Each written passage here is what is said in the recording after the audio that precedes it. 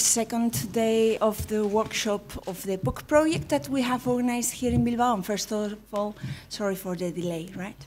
It was quite difficult to work with uh, a group of people under the heavy rain at some point in Bilbao. Some of them walking with their trolleys going back home today. So really sorry, but we are going to start this presentation.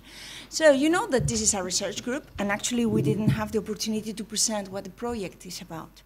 So the name, the official name of the project is Assessing Effective Tools to Enhance Cultural Participation. And this was not a, a proper research project, but this was this is a collaborative uh, network which was funded by the Culture Program of the European Union.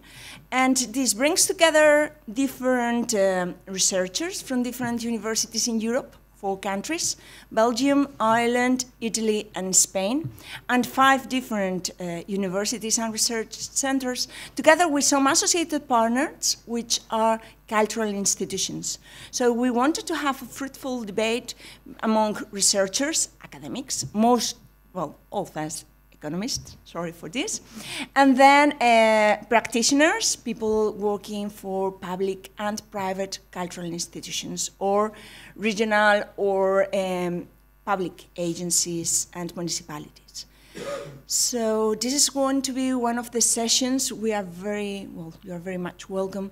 But this is one of the work in progress sessions in which our researchers from our network are bringing here the work in progress. They present their research so we can discuss with them in one area, which is academics, right? So like this is the more scientific part of the presentation, but also bringing some reality that you know as practitioners or as people working in cultural institutions, right? So today we have uh, two presentations. The first one will be by Karol Borowiecki, and this is uh, a paper together with Juan Prieto Rodriguez. Another of the aims of this uh, collaborative action and the PUCK project has been to enhance the collaboration among different researchers coming from different institutions. Karol, he's uh, nowadays in the University of Southern Denmark, and he's working together with Juan Prieto Rodriguez from the University of Oviedo. So are, he's going to present their joint uh, uh, work on video games. And then we will go on with a presentation by Fernanda Gutierrez Navratil. And this is also a joint work uh, together with Juan Prieto Rodriguez. They are both in the University of Oviedo and myself being here in the University of the Basque Country. And this will be a work on industrial organization and cinema industry.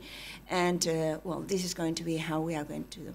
Each of them, they will present in something like uh, 20, 30 minutes at most. And then we will have questions for the first presentation. Then uh, Fernanda will present her work and we will open the discussion for hers. Right, so the objective is to get to uh, 11 a.m. and have a coffee break. Today it will be a proper coffee break and we will try to keep a lighter session than yesterday, which was really tough.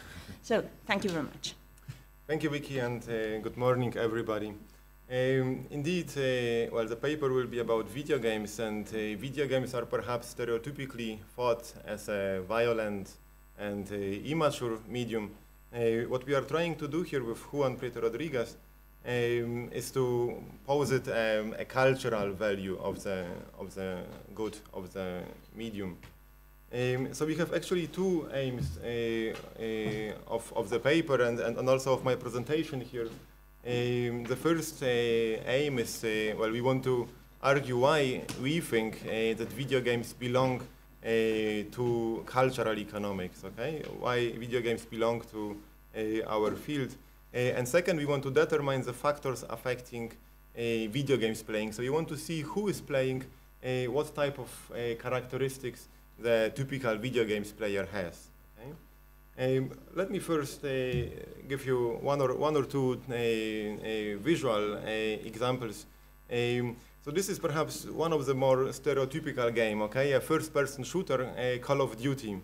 Um, at the same time, well, if you, if you perhaps look uh, you know, beyond the gun, you see uh, beautifully rendered uh, textures, a very gripping script, movie-like gripping script where the, the hero that you are playing is, is going through a range of, of adventures, a, a fascinating sound, a, including music, a, which, which, which also gives you a very perhaps cinematic experience, okay? Um, speaking of this game, the economic value, well, we might, as economists, we might care what's, what's the economic value of this game. Um, so this game, it was released in 2010, and in the first five days, it hit uh, 650 million uh, US dollars. This was uh, an amount that was uh, not brought by any other uh, blockbuster movie in this time frame, uh, by any other music song. So, you know, it, it, it kind of dominated in the economic perspective. Um, in, in, in 15 days, it hit $1 billion, okay? So, so a, a massive revenue of this game. Um, another game, perhaps a little bit more peaceful, Fable 3. So this is a game where you have a, an open world, okay? A beautiful fan fantasy world where, where, you know, you have some fantastic landscapes and, and, and here you are not so much constrained by a, by a script. So you are playing the hero and making decisions throughout the game and whatever decision you make, uh, this will impact how the game will, will, will move on, okay? So if you decide to kill somebody, maybe some other people will begin to fear you. If you decide to help somebody, you will become a more a positive hero, okay? So you have very, very, very different paths that you, that you can go through the game. Uh, uh, again, it, it perhaps unfolds, well, it, it shows only not, not, not the aesthetic, a nice landscape here, but also that perhaps to some extent it, it allows um, a bit of creativity perhaps of the of the player. Um, a, a, bit more recently, well, GTA 5 released. Uh, maybe it was also in Spain a, a big uh, campaign. All all the posters around again a, a movie-like a script where you are playing uh, the stories of three main heroes that you can see on the on the picture. Um, a little bit older. Well, this is something I was playing. Uh, another world a, um, a, fantastic game with a re revolutionary script at that, at, at, that time, okay? So, so it was a, the, the designer of this game, actually it was designed and, and written by just one person, by, by the French game designer Eric Chahi. And and he, you know, he's regarded a bit as a, as a, well, as a hero, if you want, among the video game nerds. Um, and then if you move again a little bit uh, more backwards, perhaps the first game, Pong, 1972, uh, maybe some, some of you remember this game. Well, I, I still remember it from my uh, childhood. Um, a very simple game Eh, where, where the aim is to, is to play the ball eh, behind the line of the enemy. Um, and yet, according to some, even this simple game has some aesthetic value, has some a, a cultural value of the design, a, a, and and is and is of of some of some interest to some people interested in, in, in, in, aesthetics, for example. Um, one of one of those proponents of, of, of, of, games like Another World or uh, Pong to have some cultural merit is the curator of the Museum of Modern Art in New York. Um, so actually last year, 2013, in the spring, there, there was launched a, a brand new a permanent exhibition of 20-something uh, games. Um, you know, again, a, a very, a very courageous step by the curator, where um, you have um, the games um, exhibited. You can even well experience uh, the, the, the, the, cultural product, so you can play the game you have the context of the of the game as well uh, described in the in, in the background. Um, and and and the and the forecast is to extend this permanent exhibition by by another uh, uh, in another uh, two two or three tranches. So so so it, it's it's supposed to be to be to be growing and and and, and it's supposed to become an, an important part of the a Museum of Modern Art a exhibition. Um, the nicest thing about about this type of a, projects is, as you can see on the picture, I took it last summer in New York. Um, you see who is who is now the museum uh, audience. Yeah, it it totally attracts uh, the new new new audiences to the to the museum. Yeah, it attracts the youth, and, and, and the youth they are they are they are really spending a, a, a relative long time uh, at at each uh, at each exhibition here.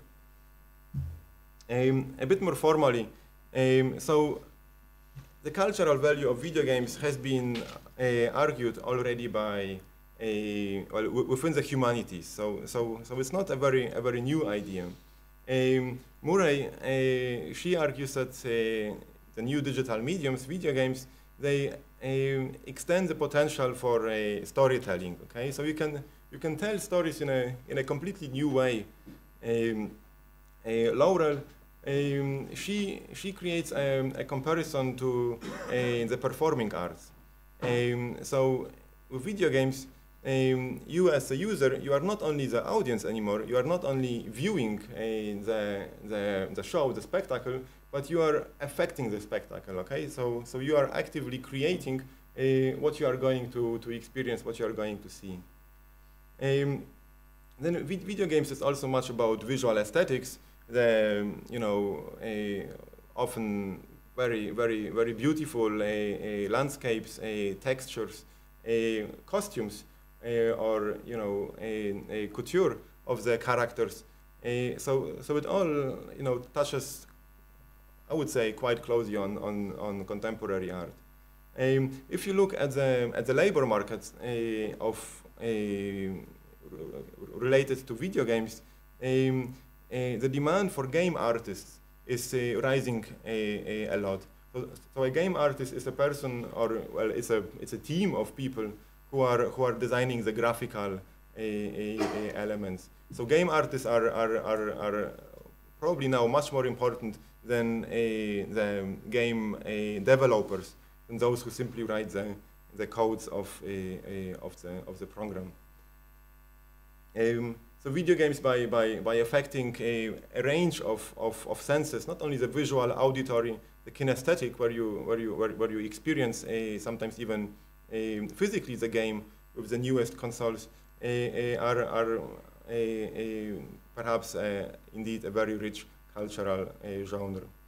Um, now on the economic aspects, very briefly, uh, as I uh, uh, already mentioned, Call of Duty, the, the success was really, really large, but also the overall market is with 10, with, a, with a growth from 10 billions in 2004 to a, more than sixfold to 65 billions by 2011, um, a really impressive growth. And this despite the economic turbulences associated with, with this time period.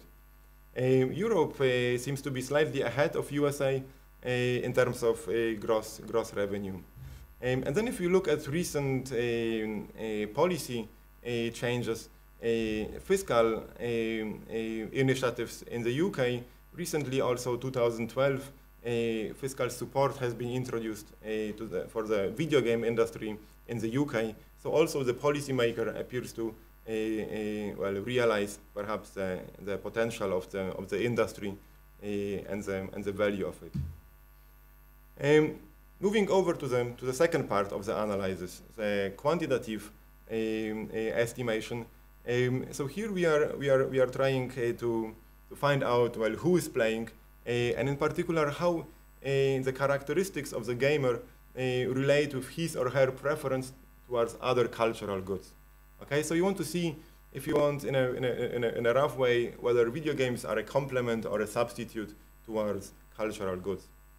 Um, for this reason, we use a, a, a survey from 2010 2011 conducted in Spain. Um, so we get some a bit more than 14,000 uh, individuals. Um, and, then, and then we are estimating some relatively fancy econometric model. so we are estimating a zero inflated ordered probit model. Okay, it's, it sounds perhaps quite quite technical at this morning hour. Um, this is this is a model which which which solves two things. Okay, um, so first, and this is and this is quite quite new what we are doing, um, we are applying the, the appropriate model for an ordinal dependent variable. Um, our our dependent variable is ordinal, which means um, let me let, let me give you an, an well a, what how, how how it is represented. It tells it tells you a, how a, a, it gives you information whether the individual was playing once daily, a, at least once a week, at least once a month, at least once a quarter, a, at least once a year, or never, or, or, or, or almost never. Um, so these, these, these uh, responses that, the individual gives, they, are, uh, they can be ordered, but you cannot really see what's the distance between each two responses. Okay, you, you, cannot say that a person who plays at least once daily plays uh, three times more than a person who plays at least once per week. Um, so it's important to use here the right, the right model, and this is what we are uh, trying to do. Um, the second uh, challenge of the, of the data, and this is a very uh, common challenge in, uh, in data on cultural participation, um, is that the data is zero inflated. Okay, so what does it mean? It means that um, we have a lot of people who report that they haven't played at all in the last year. Okay, so a lot of zeros in our observation. But these zeros are due to two reasons. Okay, the one reason is people, uh, indeed, they don't care at all about video games. They never play. Okay, their demand is zero. Uh, but these zeros also could be uh, people who haven't played in the time frame. Actually, they, they have some positive demand. They are interested in the games, but they simply didn't play because of maybe some time constraints. Okay. So I would be the second type of zero. I, I like to play, I'm interested in games, but in the last 15 years or so, I didn't really have the time to, to, to play. Um, and then, and then we have a, a, a, the zero inflated a, ordered probit model. So this is actually something now, since Vicky is sitting next to us, this is something that Vicky has, if you want to introduce, or, or, or at least she has, she has done it first in cultural economics, and now it's pretty much a, a standard in, in, in, our literature. Um, so what um, variables do we include in our model? Well, we want to regress the frequency of a person playing uh, on, on, on a range of, a, if you want, control variables or, or, or other potential drivers of, of, of game playing frequency um, such as human capital. So we want to, you know, see whether more educated, less educated people play more or less. Physical capital. So with regard to video games, you need some physical capital. You need a, a console, a computer, and so on. Um, this is something that, that we are particularly interested in, alternative cultural goods. Okay, so the Spanish survey it provides you a range of indicators uh, uh, on the involvement of a person in other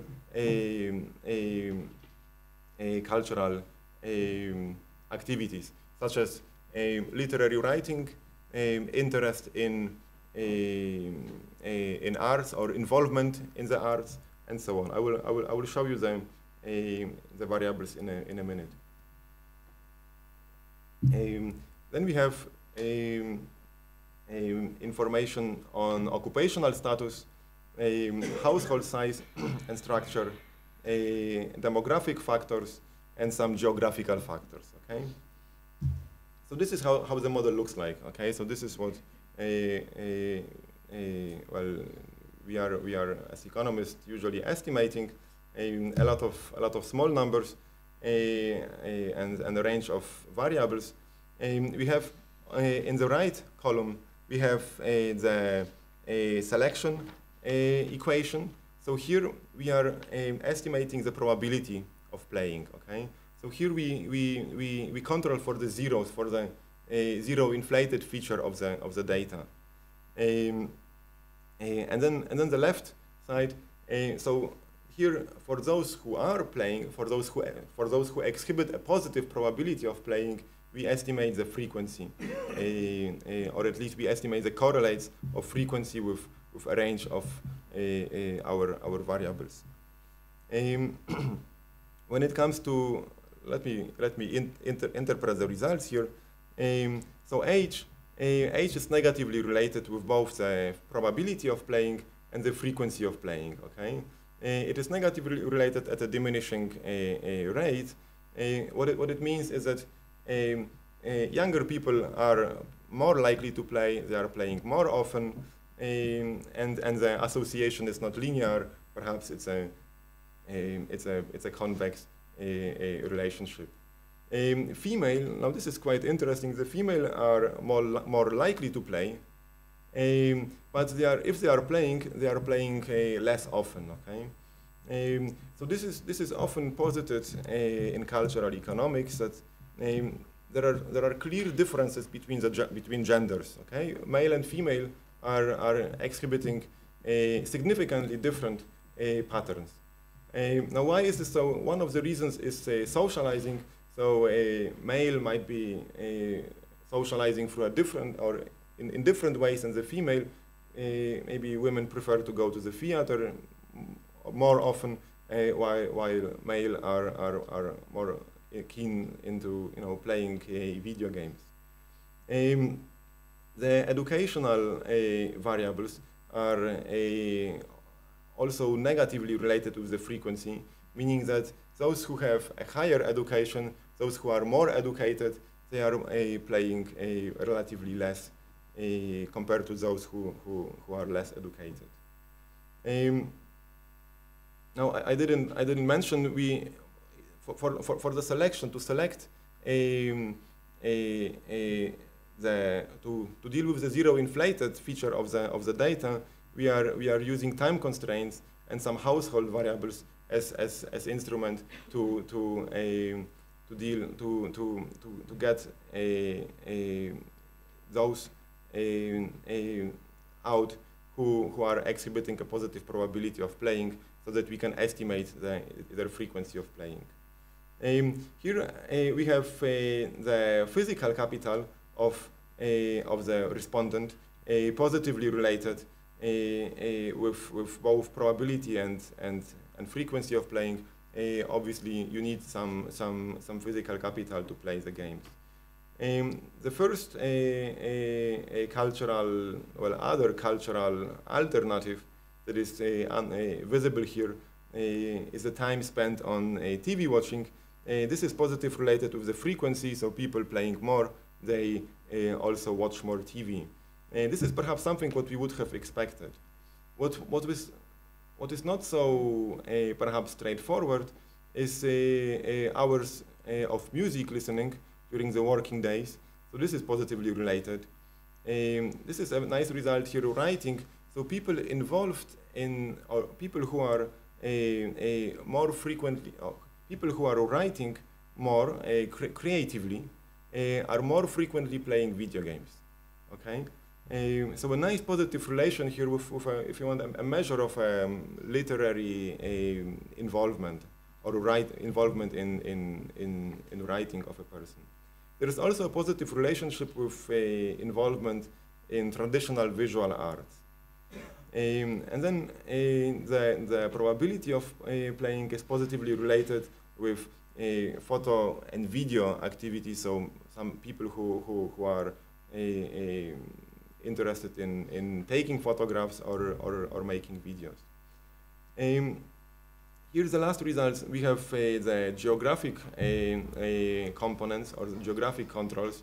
Um, so frequency is positively related with, with being with the fact of being in a larger agglomeration. So this is a very typical result for, for, for cultural participation. Those living in larger cities, uh, they are more uh, likely to consume culture, in this case, play more video games. so um, in line with the, with the with our hypothesis or with the argument that we, that we have tried to make, uh, there is some type of complementary relationship between uh, several cultural uh, goods uh, and artistic practices and video games. Um, so we found a couple of positive, statistically significant associations. We didn't find any, you know, statistically significant negative associations. Um, um, so it's, it's, it's, it, well, the results appear to to be in line with, with, with, with our argument from the uh, beginning. Um, in, eh, similar eh, as with other eh, traditional, more traditional art forms, video games playing appears to be rather an urban phenomenon. it's related positively with ownership, and it appears to decrease with greater time restrictions of a person. Um, there are also some interesting differences towards other uh, traditional art forms. So video games appears to be particularly appealing to younger cohorts. The young are playing more. Now this is an interesting feature. We, I think nowadays, uh, now, we, we, we, we do not know why this is so, okay? It could be on one hand side, that um, it is indeed appealing to the young because it's um, experiencing something new, for example, driving a car. Um, or this could be also driven to the cohort effects. So the young, they are more keen on technology. They grew up with uh, digital uh, uh, mediums, and as such, uh, they are more playing nowadays. And in the future, you know, next generation, the youth from nowadays, they will perhaps be also more likely to play than, a, a, a, than the corresponding cohort nowadays. Um, those with more education play, play, less often, so this is another difference to the traditional cultural forms, and the male exhibit a, higher frequency of playing. Um,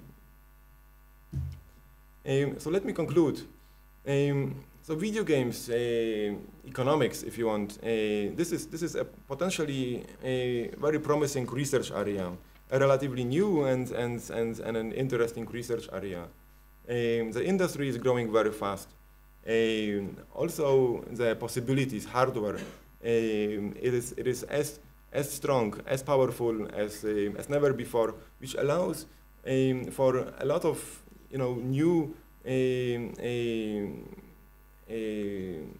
a game products, a very innovative game products. So also it creates room for creativity in the in the video game production processes. Um, there are there are a lot of uh, uh, possibilities for for further research in this area.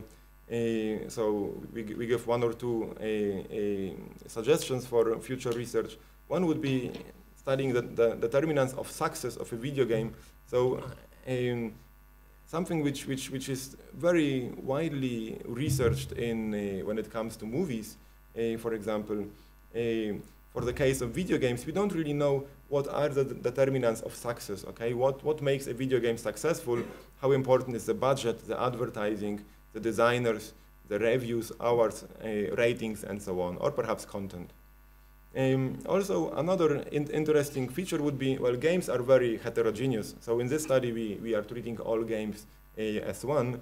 Uh, games are very heterogeneous. You have first-person shooters or perhaps some sports games which um, are testing your reflexes. Perhaps they, they contribute to, your to the development of your some motoric skills. Um, on the other hand side, you have maybe some strategy games uh, where you need to uh, think, uh, which, which are per perhaps intellectually stimulating more.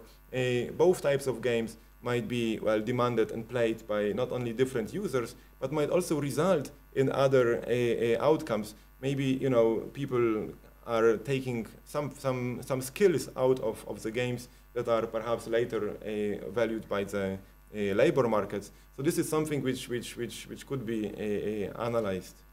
Um, and then I like always uh, geographic aspects, so we don't know much about the location of the video games and, and how it affects the production processes and, and consumption. Thank you very much, and uh, I'm looking forward to your comments or questions.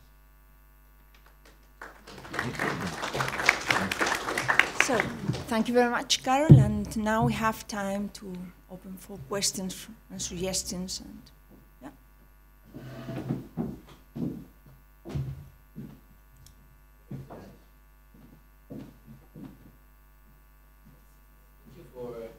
Very, very nice presentation. And um, I was wondering, there is a, a, fundamental difference, of course, between video games and movies, and I don't know whether your model captures that. The fact that, uh, first of all, you have kind of addicted behavior, mm. so you can repeat your consumption many times using the same video game. So in terms of the industry, the fact that you play a lot doesn't mean that you spend a lot, although you may pay a lot at the beginning to buy the video game, but then you repeat the consumption that you don't usually repeat. Another thing is, uh, it's interesting, maybe you, if you want to investigate further, I don't know, uh, probably the fact that the, industry is booming against uh, probably the, the, the, revenue of the movie industry, is it that related to the fact that it's more difficult to copy a video game uh, in good condition, it costs more anyway, because I think also the, the, the fact that you cannot have a streaming video game or you can download uh, a fake video game, whatever you can do with the movies. So that also uh, increases the revenue so much while the, the rest of the movie industry is actually suffering. Yes, thank, thank, thank you for the questions, uh. Um, um, these are these are good points. Um, games nowadays, especially, are often. I didn't I didn't talk much about this but games are often played online, in online environments. Uh, this means that uh, in order to, to join such an online community, and this appears now to uh, GTA 5, uh, Call of Duty and so on, um, you need first of all to have your own original game, and then for every month you play, pay a subscription fee. And this I think is, is, is, a, is a relatively high amount. Um, so this is part of the of the of the revenue, uh, and and and it, indeed it cannot it cannot be a, a, a downloaded in an illegal way. Um, on the other hand side, uh, offline games, um, I'm not sure. You know, like once once you have played the game through, once you know the the story of the of the of the character, you don't really want to play it again. Also, you know, like say sports games, once you play it through through the tournament, you you you won against opponents. You, you, after after a while, you you perhaps want to change to a different game, to a newer game, and so on. So uh, also also also there it seems to be a, a, a well perhaps some some a change, some turnover in the in the in the consumption, some a new new a, a, a purchases of, of, of new games. Um, um, so with copying, yeah, as, as with, with, with regard your your second point, um, so the the with well, the online game community say or on, online gaming does not allow for a, a illegal downloads. So this is one one one way why why it's also lower perhaps than in the case of, of movies.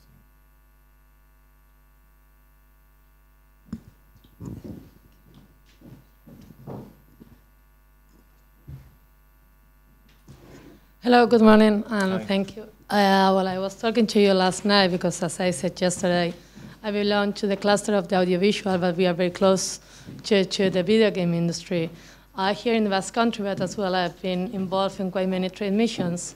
The two last of them being Ireland, uh, which video games are doing quite well recently, and even the last, the latest one being Singapore, again being a quite hot spot for video games in the world.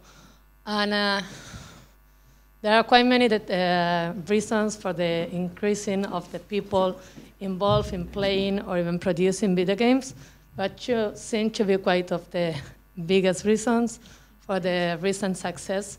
One of them being uh, for quite many animation uh, producers or scriptwriters, nowadays due to the TV crisis, it's less expensive to produce a video game. So there's been a movement from animation industry to video game. And second, sorry, and this is something I wanted to highlight yesterday during my presentation, is that the interactivity issue is really playing a determined, uh, determined uh, role in favor of the higher consumption in video games, since uh, more and more people want to interact with what uh, is being watch or even play in their online, uh, well, visual uh, phenomenon. So I think it's really growing a bridge between the video games and animation sector, but not only. because even the feature films are also playing a very major role in the online uh, screening of their feature films, at the same time stimulating it with video games that are related to the main plot of the feature film. So I will add to your presentation that also the plot matters in terms of the success of a video game.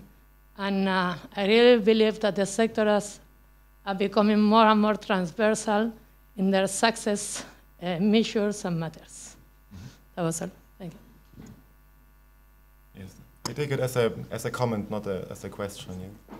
But I agree with that. Uh, uh, there, there, are really some some some interesting features now of the of the video game industry. Um, on one hand side, you have a, a bit of a return to, to small teams of, of, of game developers, especially with the apps. Yeah? Some of the apps are, are developed by, by one, two, three people, uh, and then and then these apps are played by hundreds of thousands. Uh, on the other hand side, you have these uh, rather massive productions as Call of Duty. This is this is developed by teams counted in in, in three-digit number of, of, of, of people. Hun hundreds of, of, of people are working on the, the production of such a game and then a market marketing of this of this game.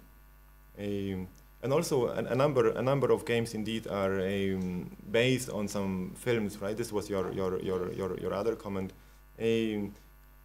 The the examples I can think of, these are usually very bad games.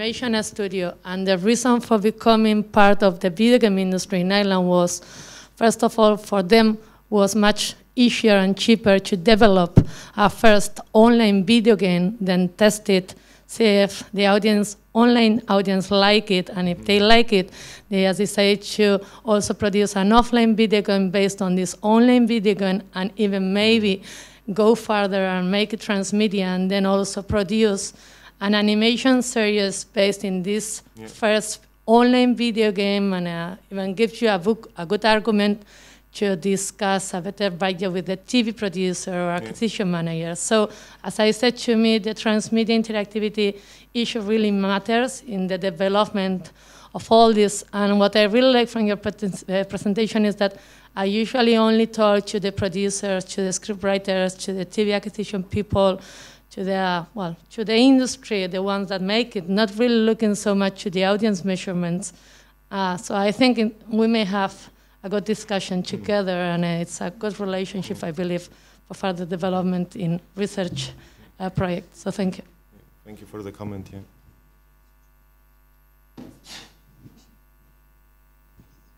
Thank you very much for this very challenging presentation. Uh, I would have two small question of your uh, findings and then one more specific uh, question. First of all, when you say that uh, games is more of the use of games is more a urban phenomenon, I'm a little bit surprised because I would have imagined that people who don't live in big cities do not have uh, the same access to other kind of entertainment and that they can be induced to uh, uh, deliver more time to uh, playing games. Secondly, when you say that male are more frequent user than uh, female, I think it's partially due to the aggressiveness of most of these games.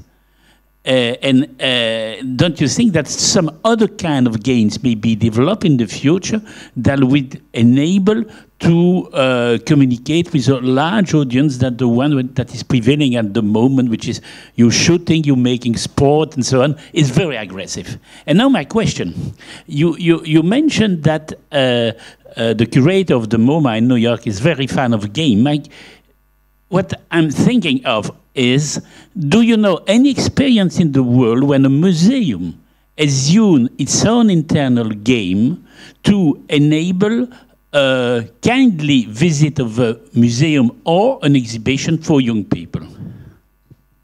A game that will be played within the museum, and when the answer to the question will be located somewhere in the mm. painting of the sculpture. Mm. Thank you. Yeah. This this is this is an, an interesting question that came at the end, Michel. Um, I, I, I am a, I have been to such museums, right, where you have a, um, a screen with a, you can you can touch on the screen and have a brief questionnaire and a multiple choice question. Maybe if you if you type the right answer, uh, you get a, a smiley or, or, or, or, something even gets printed out, and then you, you, you collect your kind of mark that you, you answered this question right, and so you proceed through the whole museum and, and, and take such such a, a, a hours. Yeah? Um, it's not really a game, no, but it's it's it's it's a bit of an interactive. Exactly, uh, and interactivity is very well process. developed. Yeah. The interest I've seen in the game is that if you make a game, you can program the way young people will visit the exhibition, the place where they have to go because okay. they have to learn something like about the piece which is there, and then you have a, a kind of in French jeu de piste through the museum mm. when the, the, the, the, reply to the enigmas are in the painting and so on, and you're going from one part to the other. The material is there because it's used for ad hoc and uh, internal question. It just has to be adapted so that uh, you, you, you, you may make an exceptional visit. Yeah. yeah. The question is also whether, what, you know, like, what's, will, it, will it really enhance uh, the experience of the culture? or will it only increase uh, maybe time time of the visit, right? Like in theory, you could you could organize a, a, a, run through a museum as well. You will have also some type of activity. People will stay relatively long in the museum, but uh, they will not really perhaps contemplate the artwork so as they uh, would otherwise. But I agree with with, with uh, that it's it's it's it's a a lot of a lot of things are changing and and there are nice possibilities to to get people more involved in the in the time they spend in the museum. Yeah, but may, I would like to interfere. There, there are plenty of examples of gamification in uh, museums, and I don't know if we have today someone in the room from Beacon Tech. No. They, they, they went here yesterday, but the thing is that this is applied. This, this is in the Museum of San Telmo in San Sebastian. You have this. And this is like the, the entry gate to the whole exhibition, if it's an exhibition about the history of the city.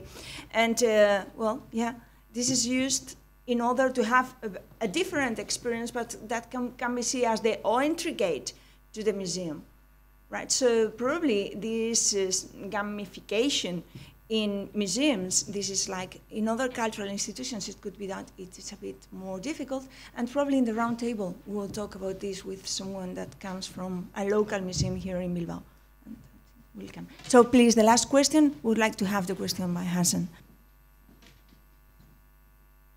Thank you. It's just a quick comment, really, rather than a, question. I thought it was a great presentation. Uh, um, one of the big um, barriers to doing research with the video games industry in the UK we've had is that the industrial classifications are particularly poorly served for games. There are, um, we did a study where we were trying to work out the, the, there are two SIC codes within which, within which games developers and publishers should sit, um, and uh, we did a, sort of a study of games companies which showed that more than 50% of them are not classified correctly in those industrial codes. So there's a big problem in using official data to do analysis, industry analysis of the games industry. We've got a project with uh, Ukie, which is the games, the, the UK's sort of um, main games trade body, um, uh, which is trying to use online data sources social gaming platforms, social networks, scraping websites. I mean, there's a big project that we've got underway to try and construct a, an independent database of the games industry. Uh, and uh, I'll be really interested to talk to you more about your. I was also wondering whether the UK Taking Part survey has also got questions on the games industry. I've just actually sent off an email to the DCMS to ask that because it'd be really interesting to apply your methodology, I think, in other European countries.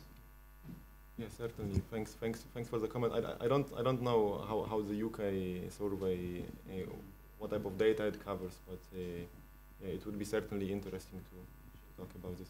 Can I just com comment on last on, on Michel's point? Really Re- really quickly. So on the on the violence and male, this this this this is also a very a very valid point. I mean, like the the whole um, the consumers are a bit dominated by male, and the producers also by male. So so there is a lot of content, and it, it's a it's a bit like a circle. But I think now there are some female communities, game artists or game uh, developers, and they are trying to push also uh, a bit a bit forward the, the female aspects of games. So this is hopefully changing now. Uh, thank you. Well, thank you very much. Uh, another suggestion now that we shift, uh, yes, who- Fernando, please, uh, is that 2006, even if this is like somehow prehistoric, Poetics uh, devoted an special issue to these digital divide questions. So there is like a gender digital divide, age, and there are also several uh, studies that talk about. Um, cognitive abilities. So probably old people they are not uh, just reluctant, but they have not developed the cognitive abilities that are required to enter into this type of uh, world. And another one that uh, the use of video games is uh, very likely to become like a social status and distinction is going to be also in this field. So status and occupation determining what you are playing. Um, so at some point, probably all of us will be playing video games like crazy, know it or not. So thank you very much. And now we are going to.